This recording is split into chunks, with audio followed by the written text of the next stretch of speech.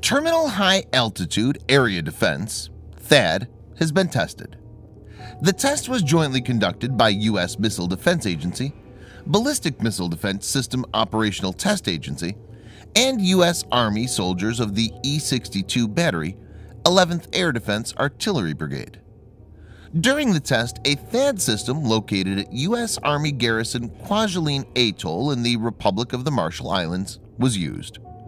The THAAD system was able to detect, track, and interpret the dummy target. This was the 16th successful intercept in 16 attempts for the THAAD system since 2005. In this video, Defense Updates analyzes successful interception of missile by Terminal High Altitude Area Defense THAAD. Let's get started. This video is sponsored by War Thunder. If you are, like us, fascinated by military vehicles and technology, I recommend you give War Thunder a try. It's a military vehicle combat game which you can download and play for free on PC, PlayStation 4, and Xbox One with cross-platform support. It has a huge variety of more than 1,200 playable aircraft, tanks, helicopters, and ships from the 1930s to the 1990s, which you can take to battle on land, in the air, and at sea on more than 80 theaters of war. War Thunder's been kind enough to offer all Defense Updates viewers a special bonus, which will grant you a free premium tank, aircraft, or ship, and three days of premium account time for registering using our link in the description below. So take the plunge and join more than 20 million players from around the world. Terminal High Altitude Area Defense is a United States Army anti-ballistic missile system, which is designed to shoot down short, medium, and intermediate range ballistic missiles in their terminal phase. The THAAD system is being designed, built, and integrated by Lockheed Martin Space Systems, acting as a prime contractor. Key subcontractors include Raytheon, Boeing, Aerojet, Honeywell, and BAE Systems, to name a few. THAAD is strictly a ballistic missile defense system and is not designed for general air defense duties like defense against aircraft. It's considered to be one of the best when it comes to ballistic missile defense systems, having been designed from the ground up for this purpose. THAAD is engineered to defend against ballistic missiles in challenging scenarios, like even if the rival launches a barrage of missiles and simultaneous interception of multiple missile is required. The system is quick to deploy and mobile, which makes it a very flexible weapon. An important aspect is that it's compatible with other systems, like Patriot PAC-3, and is designed to integrate into the Ballistic Missile Defense System BMDS of the U.S. military. The THAAD missile is manufactured at a Lockheed Martin facility near Troy, Alabama. The facility performs final integration assembly, and testing of the THAAD missile.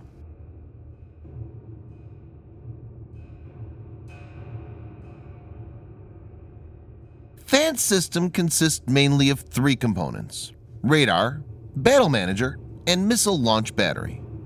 The THAAD missiles are guided by the Raytheon Systems AN/TPY-2 ground-based radar GBR. It's developed and built by Raytheon at its Andover, Massachusetts Integrated Air Defense Facility. THAAD can also be cued by military satellites such as Brilliant Eyes. The AN/TPY-2 Surveillance Transportable Radar, also called the Forward-Based X-Band Transportable FBXT, is a long-range, very high-altitude, active electronically scanned array surveillance radar. It possesses a range of 2,900 miles or 4,700 kilometers. It has two modes, one to detect ballistic missiles as they rise, and another that can guide interceptors towards a descending warhead. Since the radar uses X-band frequency and narrow beam widths, it's good at isolating smaller objects, such as a warhead, versus space debris. The radar passes information related to the threat such as speed and trajectory to the Battle Manager. The Battle Manager is basically the brain for the system, and it extrapolates the information received by it, predicts the path for the incoming missile, and directs interceptors against it. The interceptor missile is around 6 meters in length and is equipped with a single-stage solid-fuel rocket motor with thrust vectoring. The missile has a speed of Mach 8.24 or 2.8 kilometers per second. The guidance system is indium antimonide imaging, coupled with infrared seeker head. It has an operational range of 200 kilometers or around 125 miles and a flight altitude of 150 kilometers or 93 miles. The missile has no explosives and uses hit-to-kill approach. It has a kinetic kill vehicle to knock out incoming missiles. A THAAD battery can include up to nine transporter erector launchers, each carrying eight interceptors for immediate launch. They're supporting equipment which includes storage and reloading systems that will enable refill of interceptors when the first batch is used up.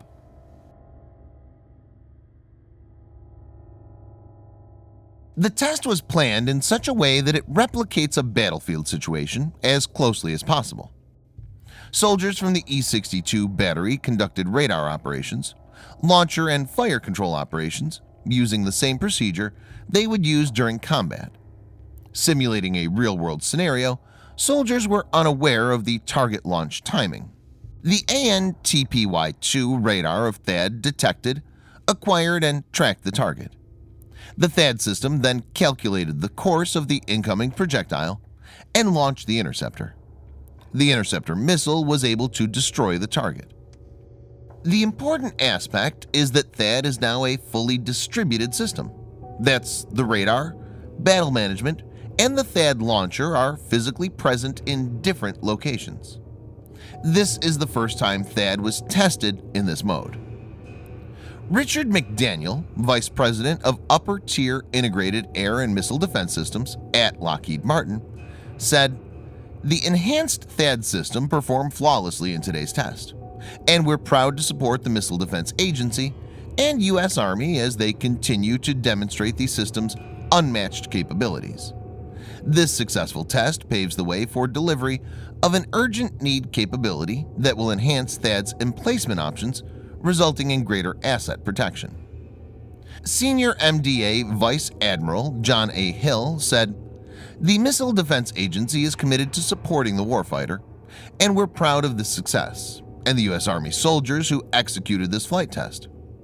This demonstrates the expanding capabilities of the THAAD weapon system and its ability to intercept and destroy ballistic missile threats in defense of our nation, deployed forces, and allies.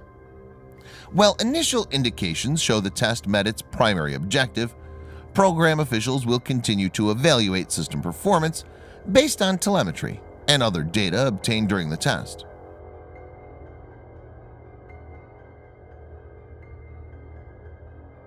THAAD is a key element of the U.S. ballistic missile defense umbrella.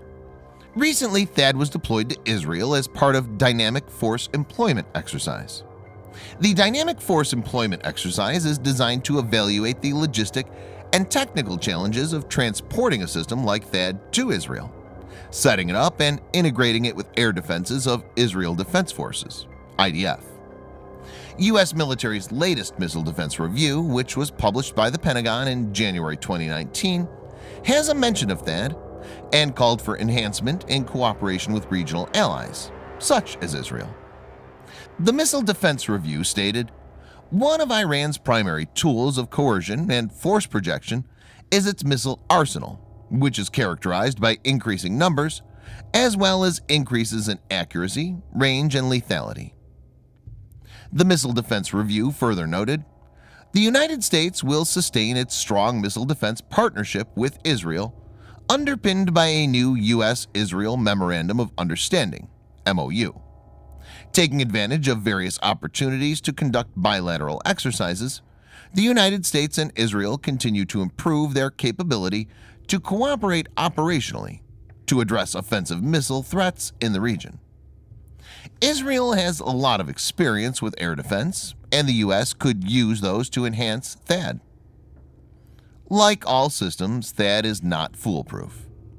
The vulnerability and lethality analysis of the THAAD have been conducted by the U.S. Army Research Laboratory ARL. The vulnerability assessment for the THAAD featured an evaluation of the effects of major electromagnetic elements. These include EM interference, EM radiation operations, EM radiation hazards, EM pulse, electrostatic discharge, and lightning effects on components of the THAAD system. Though the reports are classified, it's safe to assume that THAAD will see continued enhancements to improve its capabilities. Lockheed is pushing for funding for the development of the extended range ER version of the THAAD to counter maturing threats posed by hypersonic glide vehicles that adversaries may deploy, namely the Chinese WU-14, to penetrate the gap between low and high-altitude missile defenses. Thanks for watching. Subscribe for more videos like this. Hit the like button if you find the video interesting, and kindly provide your feedback in the comment section. This will help us improve.